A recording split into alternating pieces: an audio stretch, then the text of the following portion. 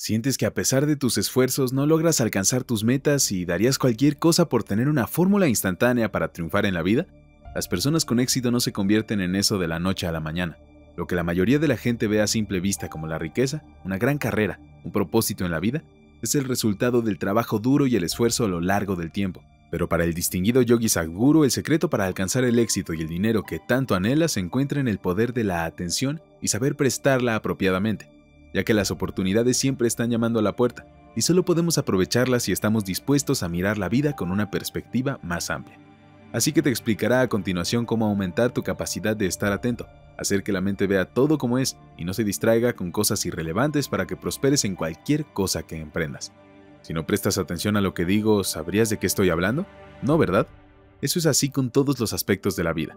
Si no les prestas atención, no sabes lo que comes, no sabes lo que respiras, no sabes lo que pasa, la mayoría de la gente no se da cuenta del aroma de las flores o del ambiente que los rodea, solo van por la vida como si fueran una simple piedra o como un animal cualquiera. Así que si caminas como animal es un retroceso evolutivo, has evolucionado para ser un ser humano, lo que ha tomado millones de años y no querrás retroceder ahora, ya que como seres humanos podemos hacer las mismas cosas que los otros animales hacen, a diferencia que nosotros somos conscientes de ello, y no lograrás hacer algo conscientemente si no prestas suficiente atención a las cosas que haces o a las que no haces, y hay que tener especial atención a estas últimas. Entonces este síndrome de deficiencia de atención ha ocurrido porque la idea de la gente sobre la educación se centra en la información. En la actualidad, todo el ideal del sistema educativo humano se ha basado en acumular información. Cuanta más información se acumule en cualquier mente, digamos desde la infancia, más desarrollará cierto rechazo a la atención, porque sin saber nada la información te da la falsa sensación de que lo sabes todo. Esto se ha convertido en una moda ahora. Hoy en día, si te invitan a una cena, buscas en Google información sobre los 100 mil millones de galaxias. Todas han sido numeradas y nombradas entre otras cosas. Esa galaxia, 556BZ, ¿la conoces? Buscas algo de información al respecto en Google y consigues estas dos frases y vas a la cena. Cualquiera que te hable y te diga ¿cómo estás? Luego de un poco de conversar le dirás, oye, ¿sabes que esta galaxia que está a un trillón de millones de años luz, la cual se llama BB, bla bla bla? Hablas de ello y todo el mundo piensa que eres inteligente. De eso se trata el problema con el mundo en este momento. Solo tenemos en cuenta la información y estamos confundiendo la información con la inteligencia.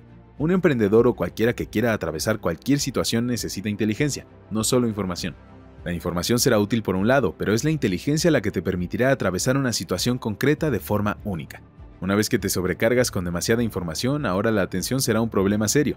Y una vez que no puedes prestar atención y que no tienes la capacidad de mantener tu concentración, también has perdido la capacidad de acceder a tu inteligencia. Solo sacas la información de la memoria. Ahora déjame contarte un increíble incidente que ocurrió hace tiempo. ¿Has oído hablar de Andrew Carnegie? Cuando Andrew Carnegie comenzó su empresa, en un corto periodo de tiempo se convirtió en un super éxito y ganó mucho dinero. Ten en cuenta que en ese momento aún no era la época de Google, Facebook o Twitter, en la que en dos años te podías hacer multimillonario. Así que en aquella época la gente tenía que montar una fábrica, esto y lo otro, para hacer dinero, lo que llevaría décadas o generaciones. Por lo tanto, este tipo hizo tanto dinero en un corto periodo de tiempo que la gente sospechaba. Incluso el gobierno de los Estados Unidos sospechaba que estaba haciendo alguna práctica ilegal, así que crearon un comité de investigación del Senado, por lo que lo interrogaron de todas las maneras posibles, y no encontraron nada malo en su negocio, y le preguntaron cómo se las arregla para hacer tanto dinero y tener tanto éxito. Entonces Andrew Carnegie dijo algo muy sencillo. Mira, puedo mantener mi mente concentrada en algo durante 5 minutos seguidos. ¿Puede alguno de ustedes hacerlo? Todos los senadores pensaron, ¿cuál es el problema con 5 minutos? Por lo que Andrew rápidamente llevó a cabo un experimento en que los senadores intentaron mantener su atención, pero no lograron hacerlo por más de unos segundos.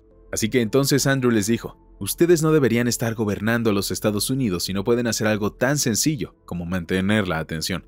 Por lo tanto, en la capacidad humana hay algo llamado chita, y es necesario entender lo que en verdad consiste la mente humana, ya que usualmente la gente considera la parte de la memoria de su mente como el todo, cuando en realidad hay cuatro aspectos principales de la mente según el sistema yógico. Trataré de no profundizar mucho, pero la parte de la memoria de la mente es la de menor importancia.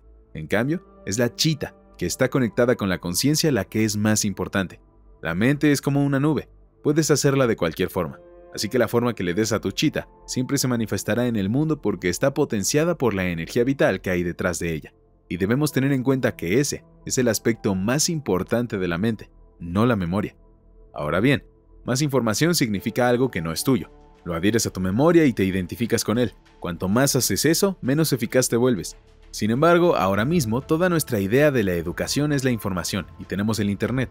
Un niño de 12 años sabe cómo se llama la galaxia que está a un billón de años luz de distancia, lo cual no es bueno para él porque esto no es un conocimiento, no tiene ninguna utilidad. Esto solo sirve para presumir y sobre todo le quitará la capacidad de prestar atención, porque la base de la atención es que te des cuenta de que no conoces bien ni lo más mínimo del universo. En su totalidad no conoces ni siquiera un átomo, por eso puedes prestar atención, si piensas yo conozco esto, no puedes prestar atención. Es la arrogancia de la información la que te traerá deficiencias de atención. Para mí mi propia visión nunca me ha fallado, así que siempre me mantuve alejado de todas las escrituras porque no quería abarrotarme de algo o de lo otro. Lo único que aprendí y sigo haciendo es que si miro algo, si miro a una persona, conozco su pasado, su presente y su futuro. Ese es el nivel de atención que les presto. Cuando observo lo hago completamente con todo lo que tengo. Si se presta la suficiente atención no hay nada que no se pueda obtener. A veces no tenemos todo el tiempo, pero quisiéramos para dedicarnos a aprender demasiada información. Pero si nos esforzamos en prestar atención a las cosas que importan, con eso lograremos alcanzar nuestras metas y ser exitosos. Todo este proceso comenzó cuando era muy joven y me di cuenta de que no sabía nada. Verás, si te das cuenta de que no sabes, si realizas una verdadera introspección con respecto a que no sabes nada, prestar atención será natural Incluso si estás haciendo negocios, aunque sea con fines comerciales, la única razón por la que un ser humano siente que todas las oportunidades parecen ir en su dirección y no en otras personas, es simplemente porque él es capaz de ver y otras personas no son capaces de ver. Así que esencialmente un líder significa que es capaz de ver algo que otros no son capaces de ver. Porque esencialmente el liderazgo significa que estás en una posición privilegiada. Una vez que estás situado en lo alto, debes ver mejor que los demás. Así que la atención es la dimensión que te pondrá en esta posición. Si tu atención tiene que ser muy precisa para todo, entonces debes dejar de discriminar en términos de me gusta esta persona, no me gusta esta persona, esto es bueno, esto es malo, esto es útil, esto es inútil. Este es un aspecto muy importante del proceso yógico, que sigamos trabajando en nuestra atención sin ningún tipo de discriminación, que sigamos elevando nuestra atención a un nivel más y más alto, un voltaje e intensidad más altas. Casi todo lo que he hecho es así. Nunca he asistido a ningún tipo de formación, pues al descubrir la importancia de la atención supe que tenía que hacer. Todos los seres humanos pueden hacer esto porque tienen una mentalidad que no les permite lograrlo. Así que siempre me centré en potenciar y agudizar mi atención, nunca en la retención porque lo que memorizas no eres tú. Esencialmente sabes que existe solo porque tienes algún sentido de la atención en este momento, ¿no es así? Supongamos que te duermes y pierdes la atención. Ni siquiera sabes que existes, así que la base de tu existencia es la atención, y esta atención no tiene que estar hipotecada a nada, solo tienes que afinar la atención. Por ejemplo, si tienes un cuchillo en tus manos, no es necesario que cortes solo manzanas con él. Si tienes un cuchillo lo suficientemente afilado, puedes cortar todo lo que quieras. Pero lo importante es que el cuchillo esté lo suficientemente afilado, así que si tu atención es lo suficientemente aguda, no para algo o para lo otro, si deseas hacer cualquier tipo de actividad, podrás hacerla con éxito. Ahora solo tienes que trabajar para que tu atención sea tan precisa que no te perderás nada de este universo. La claridad con la que ves determina qué tan exitoso es tu camino en esta vida, y la falta de claridad que haya en ti determina la cantidad de errores que cometerás en tu vida. No hay duda sobre esto. Si simplemente prestas atención a cualquier cosa y a todo sin ningún juicio, verás que hay cosas fenomenales. Por último, el aumento de la atención te lleva a un espacio en el que te vuelves consciente. Debido a esto captarás todo tal y como es.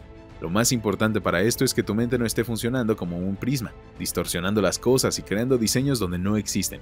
Tu mente se ha convertido en un simple espejo que muestra todo tal y como es. Solo cuando veas todo tal y como es tendrás la capacidad de manejar todo con sensatez. De lo contrario, echarás a perder las cosas. Y esto es muy importante para un emprendedor si deseas alcanzar tu máximo potencial y cumplir tus sueños en cualquier ámbito. Por último, no olvides darle me gusta y suscribirte activando las notificaciones. Y si te gustaría conocer más secretos de Andrew Carnegie, ve al link de los comentarios. Gracias y hasta la próxima.